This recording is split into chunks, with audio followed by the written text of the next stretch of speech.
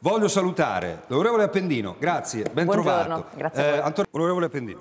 Guardi, io eh, penso che eh, gli agricoltori stiano manifestando un malessere che è evidente.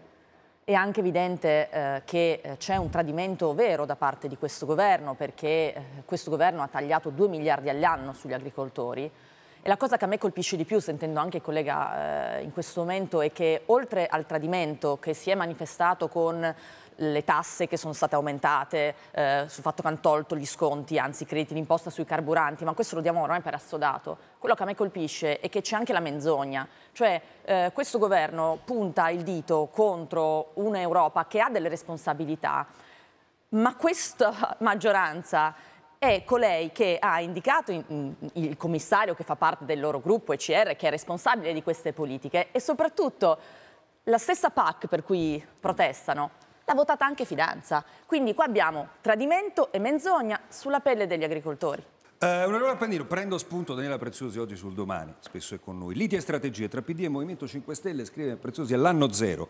Conte insulta i Dem in vista delle europee, Schlein stanca di incassare e dice il campo largo non c'è. Altro che Guantoni. Eh, esatto, esatto. Ma in realtà più che litigi sono discussioni, nel senso che eh, noi abbiamo eh, dei temi che riteniamo importanti per il Paese e questi temi sono ad esempio il fatto che per noi sia sbagliato continuare a inviare armi all'Ucraina, per noi significa dire, abbiamo fatto cadere il governo Draghi su questo, che non è accettabile la costruzione di un inceneritore, per noi significa fare una battaglia vera per la sanità pubblica, cioè riportarla allo Stato, aumentare le risorse. Eh, ad esempio in Piemonte da me noi stiamo chiedendo al PD, con cui stiamo discutendo, di avere il coraggio di dire che eh, il partenariato pubblico-privato non è sufficiente, cioè ci vuole di più. Stiamo chiedendo loro di dire no agli inceneritori, stiamo chiedendo loro di avere posizioni coraggiose sui diritti. Cioè cosa significa questo? E, e chiudo. Noi abbiamo una nostra identità e questa identità noi crediamo possa far bene al Paese. Quindi chiedere al PD di non essere bellicista, chiedere al PD di essere ambientalisti significa semplicemente chiedere di costruire un progetto in cui non si chiede al Movimento 5 Stelle di perdere la propria identità e noi su questo ci confrontiamo. Però alla fine ci sarà insomma, una convergenza, una saldatura su questo percorso qui. Noi ci confrontiamo sui temi, vorrei sottolineare però un fatto, cioè non è, noi non è che combattiamo contro qualcuno, noi lavoriamo nell'interesse degli italiani. E quindi anche tornando a quello che diceva Finanza, cioè a me quello che preoccupa di questo governo non è rimpasto sì o rimpasto no, a me preoccupa che siamo, ci sta portando alla crescita zero, al debito pubblico che torna a crescere, al, car al carrello della spesa che è tornato a crescere, quindi gli italiani non riescono ad arrivare praticamente a fine mese, che non fa nulla per gli investimenti in Italia. E in Europa Finanza dice che eh, cresce la rilevanza nazionale dell'Italia a livello internazionale, ma io vedo degli ultimi risultati, Expo una figura barbina a livello nazionale. Sui migranti mh, i numeri sono il record assoluto e, rappresentano il fallimento. Gli accordi non hanno portato nessuna parte, sono dei fallimenti. Il patto di stabilità e crescita ci ha portato e ci porterà 12 miliardi di tagli all'anno, che vorrà dire nuove tasse e nuovi tagli su scuola, sanità e pensioni. Cioè a me è questo che preoccupa. E ad esempio, per chiudere e rispondere alla sua domanda, ove possiamo, come sul salario minimo, è certo che facciamo una battaglia comune. Il problema sa qual è? Che questo governo non si rende conto di quello che succede fuori da questi studi, da questi palazzi. Cioè ormai siamo arrivati al negazionismo della crisi economica. Mm, le ha rifiutato, il processo è stato rinviato al 24 maggio e lei per una serie di elementi giudiziari che non sto qui a dire rischia 24 anni di carcere. Così abbiamo ricordato quella che è la vicenda. Ha fatto, Appendino. Ha fatto bene a ricordarlo perché guardi, Fidanza ha perso un'occasione. Eh. Noi potremmo stare qui a discutere del fatto che è inaccettabile, incomprensibile che un governo parole del ministro Tajani abbia scoperto dopo quattro udienze, dopo che i giornali ne avevano già parlato, dopo che c'è un ambasciatore che dovrebbe sapere da foto di giornali che è accaduto quanto sta accadendo, che è una ragazza che è in condizioni non dignitose. Lasciamo da parte la questione giudiziaria, è in condizioni non dignitose. Oggi Fidanza doveva dire solo una cosa. Noi dobbiamo fare di tutto per far sì che questa ragazza sia tutelata e le sia garantito il diritto a un processo e poi lì si accerterà la verità, ma soprattutto alla dignità della persona. Ed è per questo che Fidanza ha perso una seconda occasione, e cioè che oggi Fratelli d'Italia dovrebbe semplicemente prendere le distanze con la sua Presidente Giorgia Meloni da un atteggiamento che è indecente da parte della Lega e del suo Premier eh, o meglio, del vice premier e suo capo politico Salvini, perché in questo contesto, lasciamo da parte la questione giudiziaria, sappiamo che deve essere garantito il diritto alla dignità di questa ragazza, che ci sia il vice premier, nonché capo della Lega, che attacca questa ragazza sui fatti, francamente è un qualcosa di inaccettabile. Ci fai vedere... Quindi Parliamo, se vogliamo, di tutti e 2.000 i detenuti italiani è quello che, che sono è quello che, scriveva, è quello che scriveva ieri, forse Gramellini, su quella della sera, quando diceva se fosse stata partitica no, probabilmente dire, nessuno si sarebbe accorto di Ilaria Salis. Eh. Jacometti, eh, no, torniamo Casino politico posso, di che? Io possiamo, sto parlando dell'ipocrisia vostra, che vi state scandalizzando scusi, di, un, caso singolo solo perché in Ungheria e solo perché Orban è considerato un amico della Meloni. Io la prego, su, da... sulla, su, no, la prego io lei, la no, prego io le dico lei. questo, no, ma anche per chi ci guarda da casa. La prego io lei. lei. Lei prima ha detto delle cose totalmente scorrette anche dal punto di vista economico, se vuole poi ne parliamo. Ma cosa c'entra? C'è un paese che si è scandalizzato, ho visto delle immagini, diamo il segnale, lo dico anche a Fidanza e so che lo dirà, ma il che quello che ci interessa chi? è far sì che questa ragazza Ma ci vogliamo scandalizzare prima delle cose che accadono in Italia o ci vogliamo scandalizzare delle cose che accadono in Ungheria? Io mi scandalizzo per entrambi, ma non è questo il punto. Il punto oggi è che il governo e tutto il paese e tutte le forze politiche devono dare un segnale chiaro, cioè che questa ragazza ha diritto ha diritto a fare un processo. Ha diritto cosa? Ha diritto a violare a le essere... leggi dell'Ungheria. Facciamo una battaglia sull'Ungheria per ma, cambiare ma le leggi, ma se in Ungheria su, i detenuti vanno in manette, Guardi, il me, governo che cosa può me, fare? Per me una ragazza, ma il governo, ragazza, se, ragazzo, se in Ungheria un... i detenuti Ancora. vanno in manette, il governo italiano cosa può fare? Iacometti, scusi, può attaccare, ma, ma possiamo attaccare l'Ungheria. Iacometti, catene. Allora, se in Ungheria i detenuti vanno in catene, il governo che cosa può fare? Fare il giornalista. Che cosa può fare? Per me essere che cosa può fare il governo? Che cosa può fare il governo? per me essere patriota significa essere un governo che sa un connazionale che, che all'estero e subisce, e subisce il non riconoscimento di diritti internazionali, io dal governo italiano la devo Faremo tutelare. una denuncia. Per il resto non c'è una critica al governo perché si capisce dall'azione di un anno e quattro mesi di governo del ministro Lollobrigida, del presidente Meloni e di tutti quanti noi, che c'è un governo attento alle esigenze dell'agricoltura, che ha cercato di aumentare le dotazioni su molte voci, che ha raddoppiato con la revisione del PNRR i fondi eh, sull'agricoltura e che in Europa combatte a difesa dell'agricoltura, mentre invece gli altri governi, a partire da quello francese, da quello tedesco, vengono accusati di aggiungere delle mm. norme nazionali ancora più penalizzanti di quelle che arrivano dall'Europa. Per quanto riguarda riguarda la PAC, cioè la politica agricola comune che l'Appendino dice noi abbiamo votato eccetera, io ricordo, ero in Parlamento europeo a votare, eh, che all'epoca la polemica era da parte degli ambientalisti, eh, degli iper ultra ambientalisti, che la PAC che si, votava, si votò all'epoca non era abbastanza verde cioè volevano delle misure ancora più ecologiste, diciamo, e quindi ancora più penalizzanti per l'agricoltura. Si trovò quel compromesso, che non fu ehm, diciamo, il migliore dei compromessi, ma sicuramente meglio di come era stata impostata inizialmente la proposta della Commissione europea, e si votò da parte ah. praticamente di tutti quindi, i partiti italiani. Con questa logica, lo dico, chiudo, perché in realtà... Ha votato la PAC, quella contro cui protestano l'ha votata. No, no, no guarda, tu devi ascoltare gli agricoltori, non ma protestano contro la PAC. È chiaro che se nel, nel delirio che c'è nel mondo no? tu aggiungi anche la, la questione del 4% di terreno a riposo, ovviamente è una follia, ma se tu li ascoltassi un attimo capiresti che i loro problemi derivano da una iperburocrazia che c'è nelle norme europee e da queste follie ambientaliste che sono state approvate in questi eh, anni, quattro anni e mezzo, da tutti, dai 5 Stelle che sono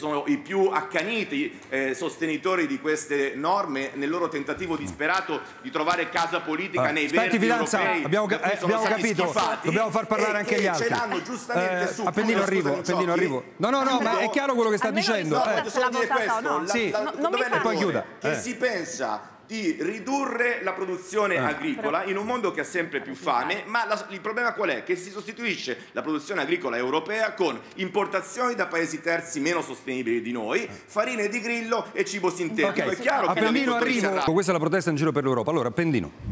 No, guardi, io capisco la, la, vergogna di fidanza e mi spiace perché non volevo essere costretta a farla, però io ho qua il voto del 23-11-2003 in cui fidanza ha votato sì alla PAC e ha votato sì alla PAC e oggi se ne vergogna. Non mi, non mi, lasci, mi, lasci, mi, lasci, parlare, sa perché? Ora torno fidanza, ora torno, parliamo uno per volta, se no non ci capiamo. Io non, eh. non ho interrotto. Quindi se ascolti, apri le orecchie, eh. forse cominci a capire quello che Aspetti, adesso arrivo fidanza, adesso arrivo onorevole, voglio sentire Appendino, adesso arrivo. Appendino sa perché si vergognano? Perché da un lato hanno tradito, cioè non hanno neanche ascoltato quello che hanno detto gli agricoltori, si lamentano dell'IRPEF, arriva qui e dice che non c'è un effetto sui carburanti, ma avete tolto 150-200 milioni a trimestre per, la, per i crediti d'imposta sui carburanti, quindi avete aumentato il costo ma per i carburanti, avete tagliato un miliardo all'anno su agricoltura 4.0, ma questo è un dato di fatto. Ma la cosa incredibile per me, non riesco a parlare, ho, ho chiuso, vada, la cosa vada, incredibile vada. per me è che fidanza, la scena... Fidanza, fidanza, un attimo, un attimo, se no ci capiamo, è anche inutile insomma, ma no, il dibattito, il confronto ci abbiamo. Siccome questo tradimento è così palese, devono usare la menzogna, cioè perché si vergognano, perché guardi, al netto del voto sulla PAC, questo, questa PAC sa da chi è stata proposta?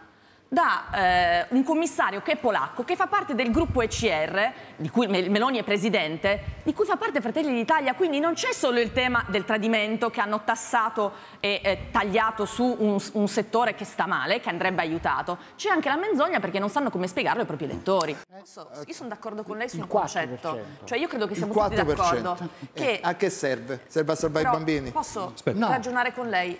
Allora, io credo che gli effetti disastrosi del cambiamento climatico sono gli agricoltori i primi a subirli, la siccità, certo, certo. la grandinata. E quindi il ragionamento che noi dobbiamo fare, eh, eh, faccio un passo in avanti, è capire come l'agricoltore possa essere il protagonista del cambiamento, non il capro espiatorio, no? Perché se no eh, non possiamo scaricarla su di loro. Non la vittima. Perché diciamo. quindi io torno sul fatto che al netto di quello che ha fatto l'Europa, ne abbiamo parlato prima, per me un governo serio in un momento così, con una difficoltà di questo tipo, che può sfociare anche in tensione sociale, dovrebbe ragionare di reintrodurre la detassazione IRPEF no? che, che, hanno tolto. Sì, sì, questo, questo l'abbiamo capito, l'abbiamo capito perché già, perché già l'abbiamo insomma, scusi, toccato segnali, questo tema. Cioè, eh. Sono segnali importanti, mm. sono soldi che sono stati tolti a loro. Allora, se quella categoria è in difficoltà e l'Europa magari ha sbagliato, cioè non è che il governo li deve tartassare, li deve aiutare. E, e quindi io dico, la prima cosa rimettiamo la, la detassazione, c'è da sette anni, eh. cioè non è una cosa del Movimento 5 Stelle, noi l'abbiamo confermata, c'è da sette anni. L'acquisto cioè i soldi per acquistare i crediti imposti sui carburanti, ma sono 150-200 milioni a trimestre, sono importanti. Agricoltura 4.0 finanza un miliardo all'anno che ha sì, portato a più 169% della e permette agli agricoltori di trasformare e cavalcare l'innovazione. Cioè queste sono proposte serie. Io dico che secondo me è un governo serio, queste cose dovrebbe fidanza, portarle avanti. Sì. Fidanza. Tutto qua. Ma, Appendino, scusami, tu non sai di cosa parli?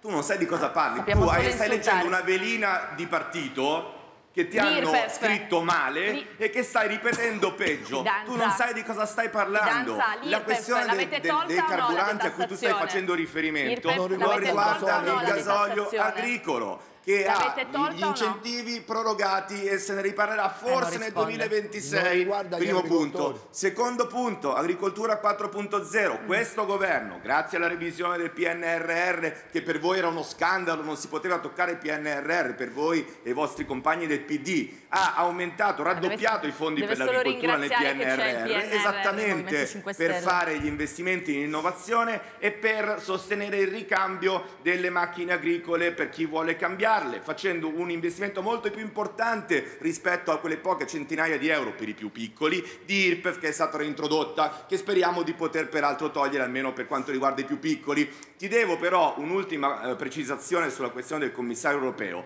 Lo sanno anche i muri che tutte le politiche green che l'Europa ha imposto al settore dell'agricoltura, al settore dei trasporti, al settore, nell'ultimo caso quello del, degli imballaggi, a diversi settori della nostra industria, della nostra impresa, hanno un nome e un cognome che sono Franz, Franz Timmermans, che è stato Ancora. il candidato dei socialisti alla guida della Commissione europea ed è stato il commissario all'ambiente fino a quattro mesi fa, quando è scappato in Olanda, è tornato a casa ah, e ha perso ah. le elezioni anche lì, per fortuna degli olandesi e degli europei, e che ha dominato il quadro delle politiche europee su tutte le materie agricoltura compresa. Infatti basta che tu ti vada a riguardare e le politiche storia, di quando venne approvata la PAC la poi per trovare le dichiarazioni di eh. Timmermans eh. che diceva eh. che quella PAC non era abbastanza verde perché lui la voleva ancora più penalizzante Ci fai sentire Francesca, arrivo subito, Appendino, arrivo subito. Velocemente, velocemente perché devo sentire anche gli altri. i suoi provvedimenti. Aspetti fidanza. Quindi c'è poco da raccontare stupidaggini. I voti stanno lì a dimostrarlo. Io capisco il nervosismo di fidanza perché in estrema, in estrema difficoltà ricorre agli insulti, però lei non mi ha risposto. L'IRPEF l'avete tolta di tassazione sì o no? Glielo dico io sì. I carburanti, l'acquisto, i crediti imposti, li avete tolti o no? Li avete tolti. Un miliardo addirittura 4.0 l'avete tolta. Allora non ne usciamo perché stiamo ripetendo concetti. Io vi chiedo scusa perché devo andare avanti. E arriviamo ha risposto nel modo che ritenuto poi per gli agricoltori che credo che meritino risposta. Ma ci andiamo. Allora, per questo spazio abbiamo concluso. Io davvero ringrazio tutti voi per essere stati con noi. Peraltro, l'onorevole Appendino è vicepresidente della Federazione Italiana Tennis, vero? Questo grande onore. Eh? Sì. E lei c'era ieri? Ieri ero lì al, sì, nel Mattarella. È stato molto, molto emozionante. È, stato, ecco. sì, beh, è un momento per il eh. tennis italiano straordinario, nel senso mm. che al di là dei grandissimi risultati sportivi c'è un paese che sta, si sta affacciando al tennis, tanti bimbi e bimbe che si stanno tesserando, che stanno giocando e lo sport è una scuola di vita. Quindi allora, io, io poi ringrazio... Sinner è straordinario, ma tutta la squadra è della Coppa eh, adesso, Sa perché? Intanto saluto l'onorevole Fidanza, saluto lei, grazie Ermete Realacci, saluto voi, grazie per essere grazie, stati con grazie. noi stamattina, ci ritroviamo presto perché ce ne andiamo in break, ma ripartiamo proprio da Sinner ieri presidente Mattarella, la celebrazione di un giovane campione, di un campione nuovo. Break regia e torniamo.